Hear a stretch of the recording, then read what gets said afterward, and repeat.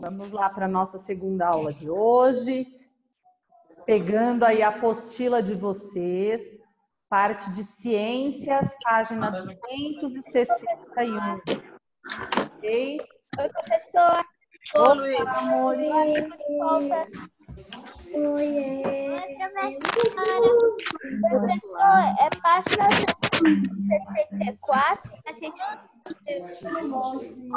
Nós vamos fazer agora a correção da lição, páginas 261 até 263.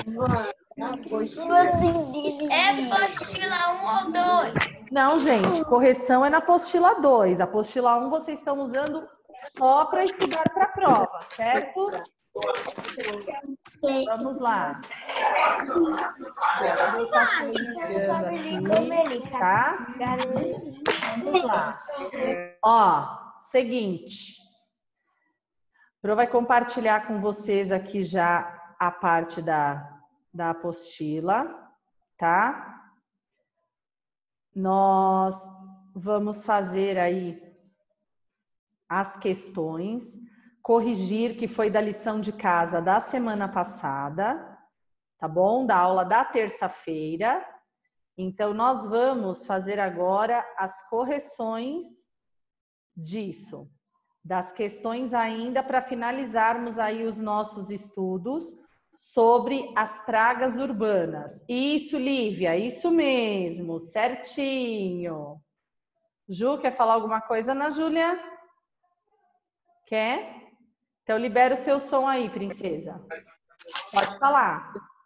Eu queria falar, eu não falei de empreendedorismo. Ótimo, então pode falar. No que, que você ajuda em casa? Eu ajudo a lavar o quintal e eu tiro as folhas do quintal e Muito puxo a água. Já ajuda muitíssimo, pode ter certeza. Turminha, vamos lá então, ó. A Pro vai colocar para vocês aí, para nós fazermos as correções, tá? Na semana passada, só lembrando, nós falamos sobre as pragas urbanas, ok? E hoje nós vamos corrigir aí as atividades, ó. Então, aqui na primeira página da lição de casa, aqui na página 261, nós temos aí o seguinte, né? Nós vamos fazer aí as correções. Então, eles perguntam para você se existe alguma área verde, parque, praça ou jardim próximo onde você mora. Então, ó, a resposta aqui, lembrando, né, que as áreas verdes das cidades são os locais de lazer que fornecem abrigo e alimento também para essa fauna urbana. Relembrando que fauna urbana são os animais que se abrigam nas grandes cidades, como é o caso da nossa cidade, aqui é a cidade de São Paulo, ok? Então, essa resposta é resposta pessoal, assim como a B e a C. Então, na resposta B, você diria que as áreas verdes próximas à sua casa encontram-se preservadas? Veja bem, não tão próximo, mas se nós formos pensar aqui no Parque Ecológico do Tietê, né, que é bem pertinho da escola, ele é bem preservado sim. Visto é que a gente tem que tomar até cuidado com os animais que ficam lá, que são os coatis, né? Que eles acabam pegando até se a gente for fazer um piquenique, for dar um passeio, eles acabam até pegando os alimentos que a gente leva, né? São bem rápidos assim, mesmo que a gente não perceba, eles estão lá pegando os alimentos e dando aquela fugidinha básica, né? Então aqui, ó, essas questões que a gente tem, elas são, ó, respostas pessoais, ok? Respostas pessoais. Aqui no arborizada, se a sua rua é arborizada, arborizada é se ela tem árvores, ok? Aqui, no abrigar um animal de estimação, significa ser responsável pelo seu bem-estar. Na ilustração abaixo, vocês teriam que pintar o que eles pedem. De laranja, então, quatro espécies de animais de estimação. Então, ó, nós temos aqui, ó, cachorro, nós temos aqui, ó, pássaros, nós temos gato, nós temos peixes, Então dá para pintar aí em cada patinha um animal, né? Na letra B, de azul, dois objetos utilizados para manter a higiene. Então nós temos aqui, ó, escova nesse cantinho. Nós temos aqui também, ó, outros é, elementos que a gente pode estar utilizando. Então, eram dois que nós tínhamos que procurar. E de verde, três objetos usados para manter a saúde do animal. Então, qual é o ideal para a saúde, né? Eles terem ali o, local adequado para eles se abrigar. Nós podemos colocar ali, né, o tratamento do com o veterinário, a maletinha aqui do veterinário, entre outras coisas. Então, a Pro não pintou porque cada um pintou o seu para ficar mais fácil, certo? Na número 3, ó, cite três maneiras de evitar a presença de pragas urbanas na residência. Nós pegamos o seguinte, ó, primeira que a gente viu quando analisou aqueles desenhos. Não deixar restos de alimentos espalhados, recolher o lixo e colocar em lugar, lugar adequado. Tudo isso para facilitar aí que a limpeza e também evitar a ocorrência desses animais. Ok, turma? Vamos para a próxima, então. Lá na próxima página. Então, olha lá. Aqui, ó, né? No primeiro no exercício da 262, vocês tinham lá o anexo 3 que vocês poderiam, deveriam recortar os círculos e colar no local indicado. Então, ó, aqui no primeiro, ó, ó o que nós temos aqui, ó. Nós vamos colar a imagem da aranha, ó, aqui em cima. Do lado, isso, Lívia. Do ladinho, ó, o escorpião. Certo? Ali, ó, nos restos de obras, né, de entulhos. Perto da caixa d'água, lógico, né, o pernilongo, o mosquito da dengue aí, ok? Aqui do lado, ó, perto desses restos, a barata, né, nos restos de lixo aqui e tudo mais. No meio, indicando ali para o telhado da casa, né, que nós temos ainda, ó, nós vamos ter o que aqui no forro? As abelhas, ó, tem uma colmeia pendurada bem no biquinho da casa, certo? Aqui, ó, já tá o rato, ó, no meio do entulho, de um monte de sujeira, e o último, que estava mais fácil, porque já tinha umas primas aqui em cima, a pomba. Ok? Número 5. As pragas urbanas convivem com o ser humano é, para obter abrigo e alimento. Né? Eles queriam que vocês explicassem por que, que elas convivem com o ser humano. Porque a gente fornece tudo que eles precisam abrigo, fornecemos alimento. Quer falar, Lívia? Pode falar. Em falar em abelha, perto aqui da minha casa, assim, tem uma vizinha, que, é, que lá na casa dela tem, tem um. Colmeia. Tem uma colmeia. É, aí a colmeia, se, se, eles ficam lá os bandos. Você fez alguma coisa que o cheiro é muito doce, muito adocicado, pode ter certeza que elas já vão fazer uma visitinha aí na sua casa, né? Não tem. Sim. É isso mesmo, né? Colmeia que nós já aprendemos, certo? Vamos lá para a próxima página, gente. Na outra página, então, ó, nós temos o mapa lá, o mapa conceitual, né, que a gente chama, que é o resumo de tudo que nós vimos. Então, lembra que a Pro já explicou vai explicar mais uma vez. Quando nós fazemos um mapa desse para fazer o preenchimento com as palavras que estão ali na, no quadro ou naquela linha, nós temos que prestar atenção na concordância das palavras para poder dar sentido à frase e para não se embaralhar e copiar duas vezes no mesmo local, é importante que cada conforme a gente for fazendo, a gente coloque um xizinho na palavra que já foi utilizada. Então fica assim: as cidades. As cidades abrigam a fauna urbana, que é o conjunto de espécies animais que vem nas cidades. A fauna urbana, então, é o conjunto de espécies animais que vivem nas cidades e na fauna urbana eles vão encontrar condições para sobrevivência nessas cidades, como água, alimento e abrigo. O abrigo pode ser tanto nas áreas verdes, como também nas residências, ok? As áreas verdes que a gente cita aqui podem ser considerados os parques, as praças, os jardins e também e até o quintal da nossa casa, né? Já as residências que podem abrigar animais de estimação e também as pragas urbanas. Os animais de estimação, eles dão aqui para nós o exemplo de cães, gatos, peixes e coelhos, e as pragas urbanas, como baratas, formigas, mosquitos e também os cupins. Ok, turma? Certinho aí? Ótimo, vamos ver aí então. Ó, nossa amiga Mimiga aqui, ela tá dando um recado para todos aí, ó. Agora nós vamos recordar os conteúdos da nossa prova, tá? Primeiramente, os conteúdos da prova que nós vamos estudar, todo mundo prestando atenção. Nós já estamos revisando para a prova de ciências de amanhã, ok?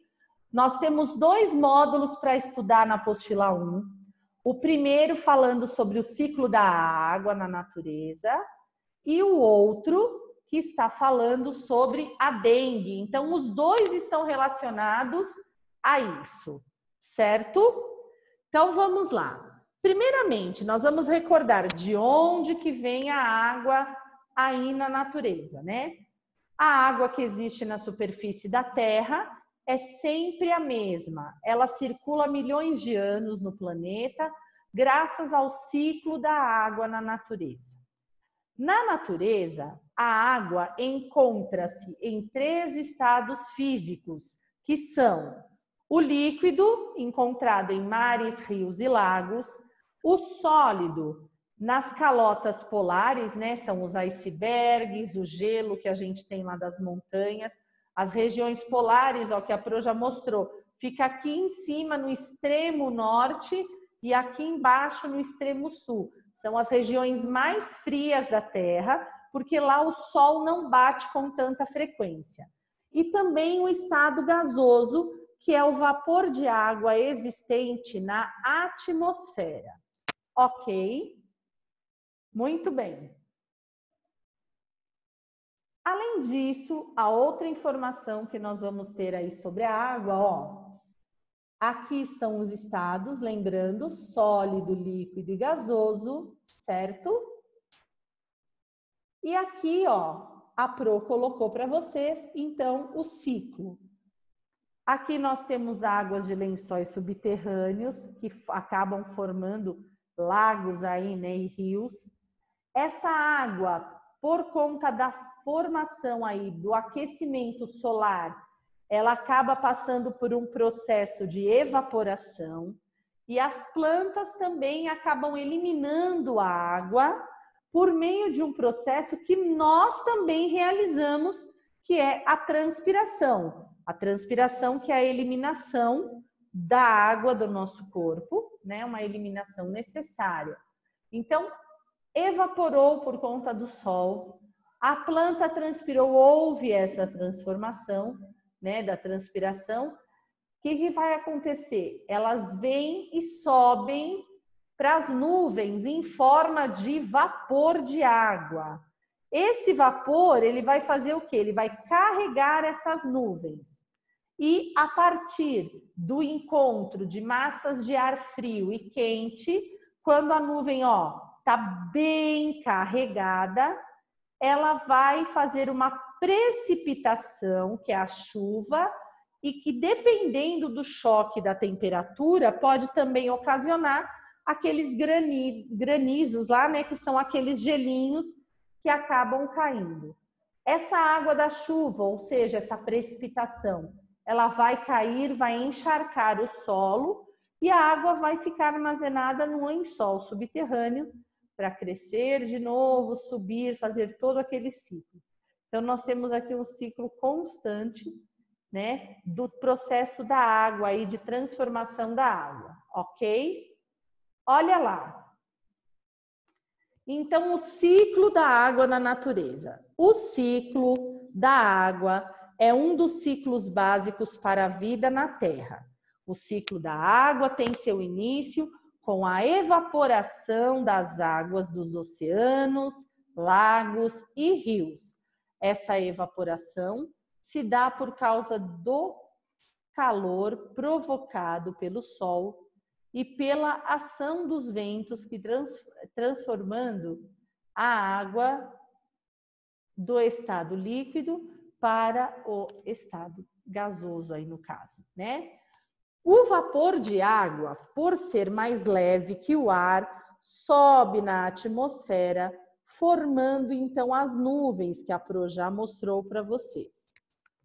Quando as nuvens são atingidas por temperaturas mais baixas, que são aquelas massas de ar que a Pro acabou de falar, o vapor de água se condensa, ele volta a ficar firme, volta para o estado líquido e se transforma em gotículas que se precipitam de volta à superfície em forma de chuva, tá? Então essas gotículas de água que ficam presas, elas vão se unindo, se unindo, se unindo e até um determinado momento, aí elas acabam voltando para a atmosfera na forma de chuva.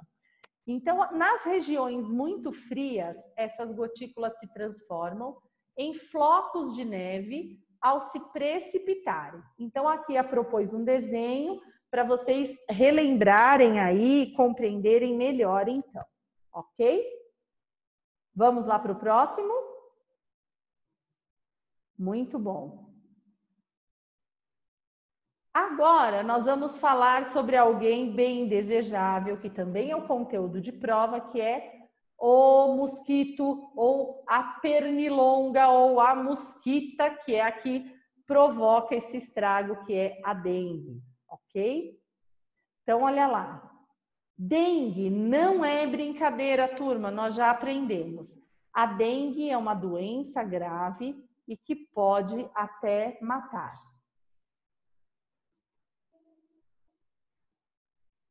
Olhem aí, tá? Aqui está o mosquito ou a mosquita. Parece mais que ele estava passeando na neve, né? Ó, porque tá cheio de listrinhas brancas, ok? Então, olha lá.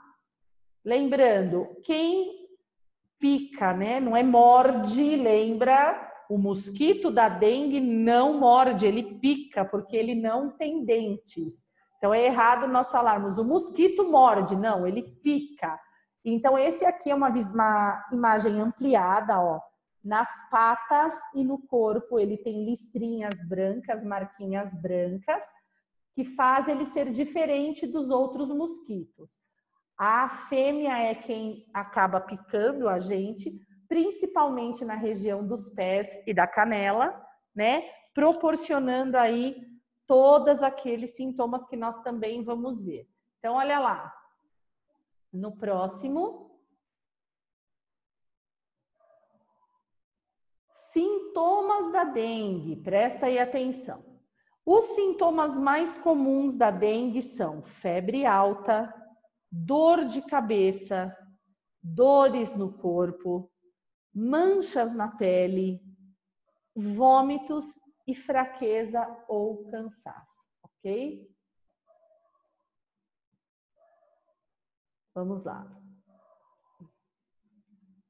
Então, aqui, informação e prevenção são o melhor remédio na luta contra a dengue. Lógico, para qualquer aspecto, gente, a informação tem que ser dada, por isso, nós estudamos sobre os folhetos informativos, porque eles vão nos auxiliar a saber mais sobre a doença para que a gente possa se prevenir da melhor forma possível, tá? Então, olha o que nós temos aí como prevenções contra a dengue.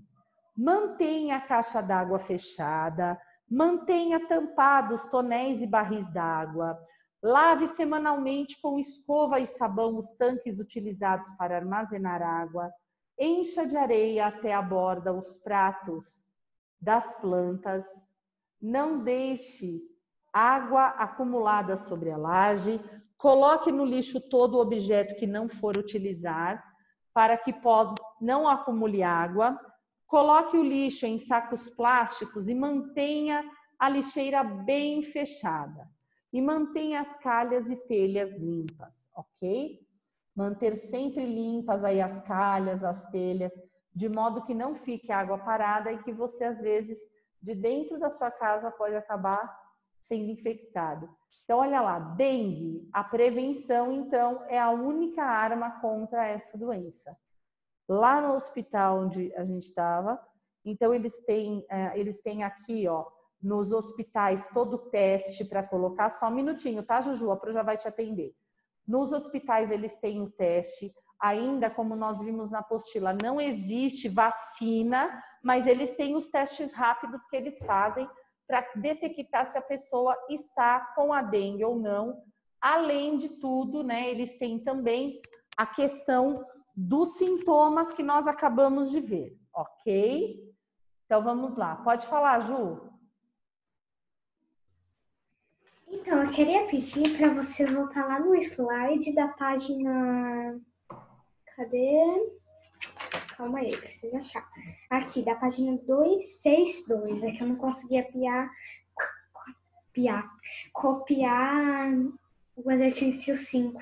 Tá, a Pro já volta. Eu vou só terminar aqui a revisão e eu volto para você, tá bom, Ju? Pode ser?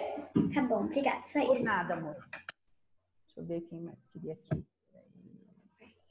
Vamos lá, continuando então, ó. Então, aqui a Pro trouxe mais para gente pensar, né?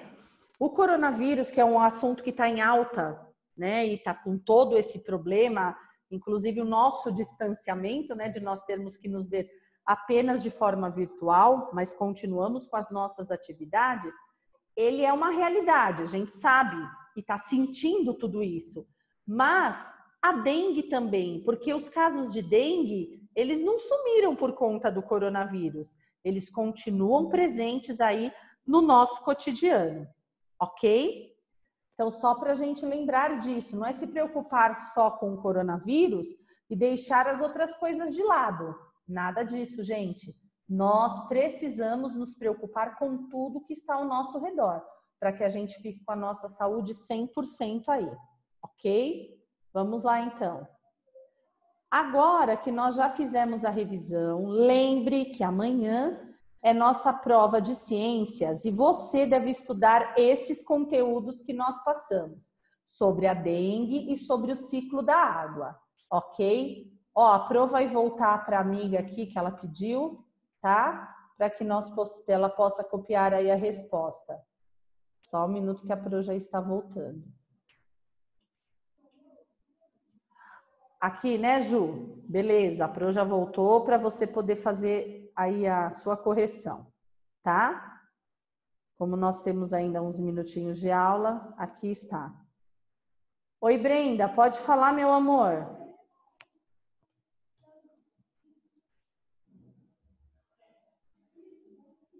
Brenda.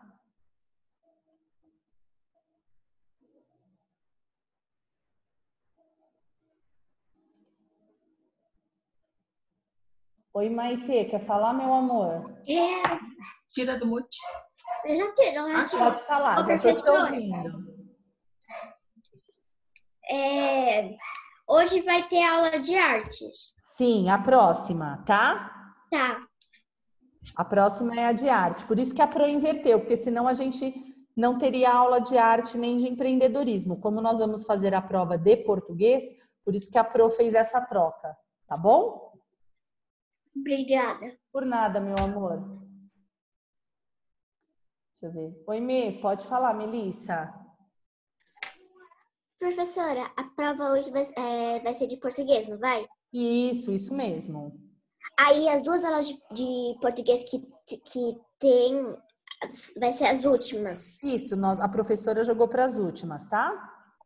Tá. Aí você pode aproveitar para fazer a prova ou então já estuda para a prova de amanhã, tá bom? E faz mais tarde, ou se você já fez, ok. Tá bom, Mê?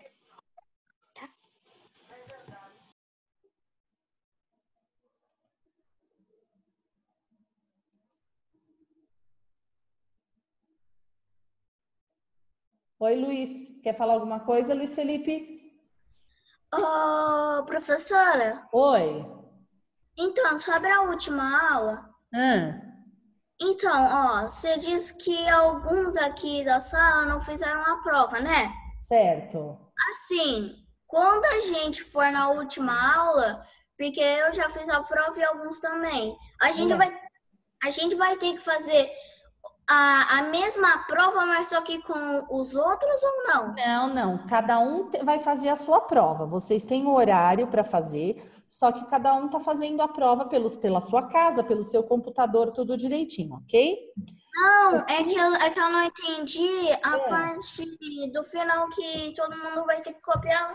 Ah, todo mundo que vai ter que fazer a prova. Essa Tá. parte que todo mundo. Fazer a prova, Lu, fazer a prova todos têm que fazer, só que o horário, tem gente que não vai fazer nesse horário aqui, tem igual você, teve gente que já fez a prova, disponibilizou no sistema, já foi feita. Mas quem não fez, aí vai ter que fazer a prova ainda hoje para poder pôr no sistema para a professora, tá? Mas quem já fez, tá ok, tá com a sua com a sua atividade feita. O que eu sugeri para você, quem já fez a prova, pode pegar e estudar já para a prova de ciências nessas duas aulas que tem, assim, não precisa estudar mais. Finaliza o empreendedorismo e já estuda para ciências. Ô, Pro, também eu queria falar só mais uma coisa. Pode falar.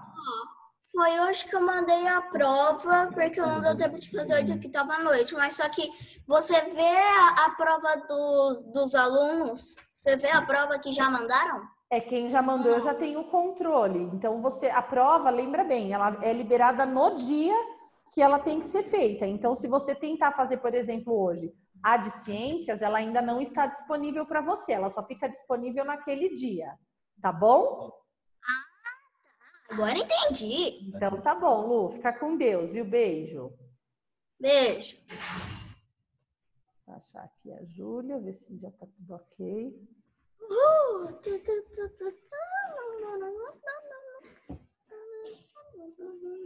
É o limite 5? Olá. Conseguiu, Júlia? Tá tudo ok? Conseguiu pegar? Beleza. Turminha, então é o seguinte, ó. A Pro tá encerrando. Quem travou, não tem problema. Fala, Brenda, qual é a sua dúvida, amor? Antes da Pro encerrar essa aula. Eu já tô encerrando, ó. Tem três minutinhos. Pode falar, Brenda. Então, professora, Oi. escola que era só duas aulas e já se passou duas aulas. Não, então, aí a Pro já tá agora pegando, vocês têm aula, na verdade, até às três e meia. Aí das três e meia em diante, vocês podem ficar liberados para fazer a prova, ou quem já fez, tá? Aí pode pegar e estudar para ciências e terminar a atividade de empreendedorismo. Tá bom? Tá bom, então a gente tem aula também?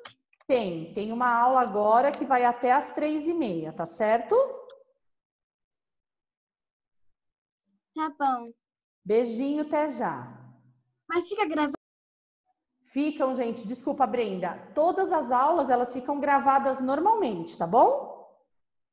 Ó, a Pro tá encerrando essa aula, porque como o Giovanni mencionou, já são 14h45 e a Pro já tá encerrando, tá? É que eu só liberei para a Brenda poder falar. Então, ó, beijinho, estudem para ciências e a, e a gente amanhã realiza a prova, ok? Beijos, amores. Até já.